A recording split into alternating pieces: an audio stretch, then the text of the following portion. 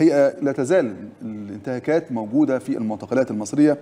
1189 انتهاك بأماكن بالسجون المصريه ده مركز حقوقي ومركز النديم اللي عمل هذا التقرير.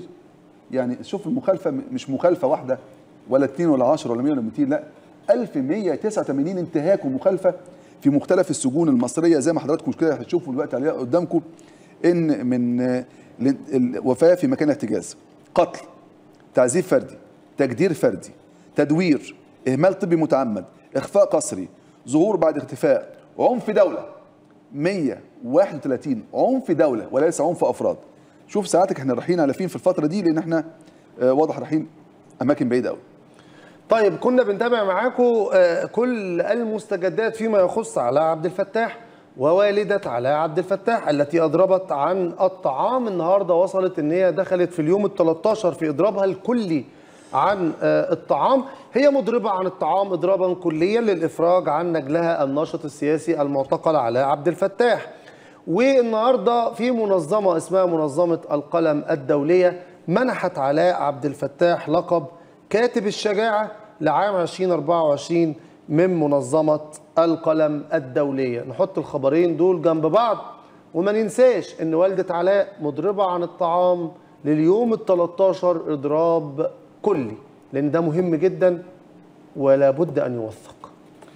أيضا يا أحمد لا ننسى ابدا آه، زميلنا وصديقنا المراسل آه، الصحفي لواحدة من أهم الوكالات العالمية أكبر وكالتين في العالم رويترز واسوشيتد بريس مراسل الوكالة الكبرى زميلنا مصطفى الخطيب اعتقل في أكتوبر 2019 السنة دي يمر عليه خمس سنوات.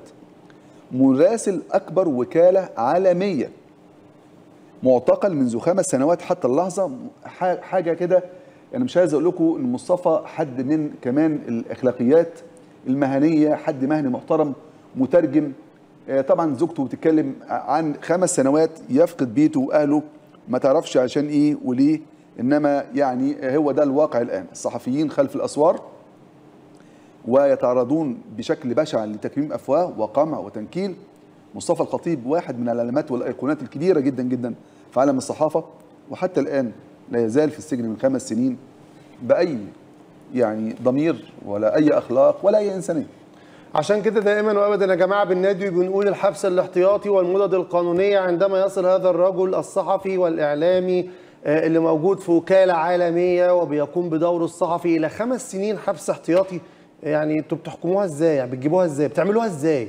مش هم سنتين وخلصنا إيه خمس سنين حبس احتياطي؟ ليه خمس سنين حبس احتياطي؟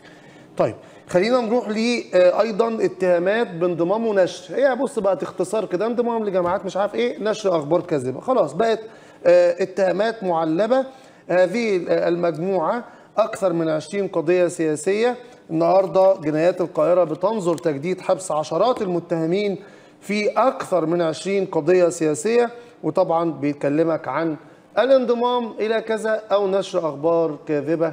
وتلك هي القضايا التي لا تنتهي عند النظام سكريبت واحد سيناريو واحد. المهم نرشق الاتهامين دول وبعد كده نشوف بقى إحنا هنحطه في إيه ونعمل له إيه ونظبط الدنيا إزاي. وهي ما بتظبطش كده. الظلم عمره ما بيكون ظبط. العدل هو اللي بيعدل الميزان وبيظبط الأداء.